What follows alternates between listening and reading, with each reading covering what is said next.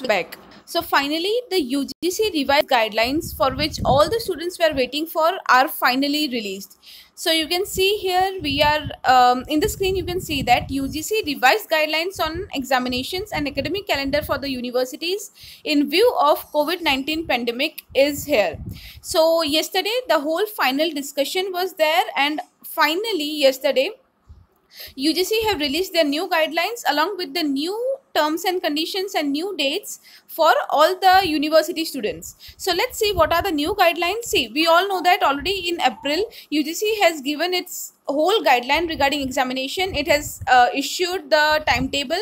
But as we know, due to the worst condition of COVID-19 nowadays, it is not possible to conduct examination in all the universities, right? So what UGC have done is, it, is, it has earlier postponed the examinations and now it has released the new guidelines according to which the further things will be taking place. So let's see what are the new guidelines.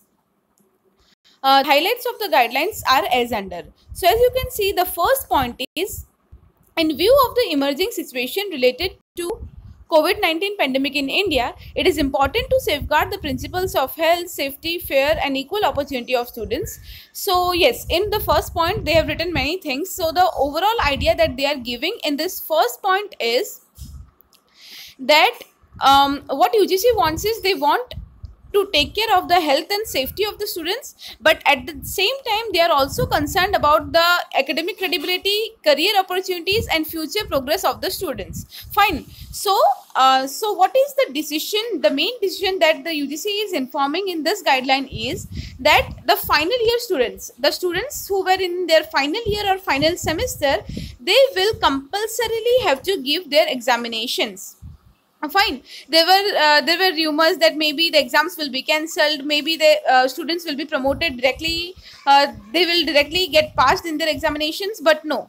The ugc has finally um, informed that all the final semester students or the final year students will not be promoted directly they have to give the exams. Because what they are saying that without examination their skills cannot be actually evaluated.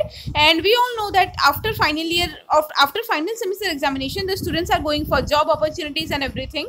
So according to UGC for those opportunities it is for those fair opportunities it is very important to conduct the examinations. So what UGC have informed that the terminal semester or final year examinations be conducted by the universities or institutions by the end of September 2020 in offline, online or blended mode. So, the main thing that has been informed here is that the final year students have to give the examination by the end of September 2020. So uh, exact dates are not yet here, but they have informed that by the end of September 2020, your examinations will be there. They can be either online. Online uh, means with the help of laptop, computer, you can give online examination or the examinations can be offline like pen paper examination or it is possible that your university may give you both the options and whichever option is feasible for you, you can opt for that online as well as offline. Fine. Apart from that, it is also informed that the students of terminal semester or final year students having backlog. So, if you are having backlog or ATKT, uh, they should be compulsorily be evaluated by conducting examinations in offline, online or blended mode. Fine. So, if you are having any uh, remaining exams from the previous semesters, if you are having backlog or ATKT, then you also have to compulsorily give the exam and only on the basis of the examinations you will be promoted further and that exam can also be either offline or online or uh, blended. Fine.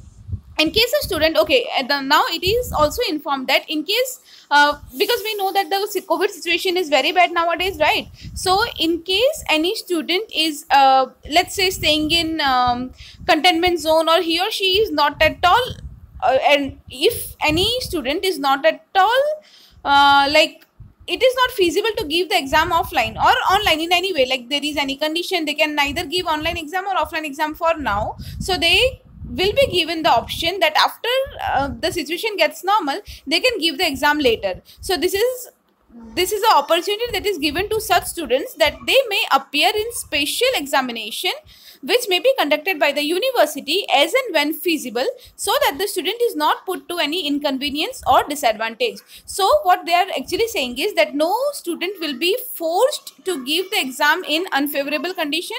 So if any student is uh, thinking that now it is not possible to give exam for him or her they can give the special examination later that will be conducted by the universities once the situations are quite normal fine and what they have told that all this information are for the final year students and for the intermediate semester or intermediate year students the guidelines will be same as the guidelines that were uh, informed by UGC on 29th April. On 29th April 2020 already there was a detailed circular um, that UGC has informed. And in that circular they have given many terms and conditions. So according to that all the intermediate students have to act on that. The those rules are unchanged for the intermediate students but this news or this notice is mainly for the final year students or the final semester students. Fine and that's all about this uh, yet the admission process or the academic calendar no such details are issued but this is the overall idea that they have already given the students so that the students can mentally prepare themselves they can prepare themselves for the exams and uh, dates are not yet there but very soon the dates will be all dates will also be released fine i hope you have understood the main motive of this uh, press release from UGC. In case you have any doubt, you can always ask in the comment section. Thank you so much.